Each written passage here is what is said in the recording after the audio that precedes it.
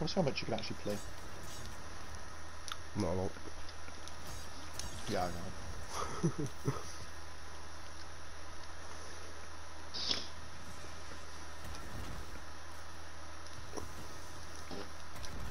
Nice.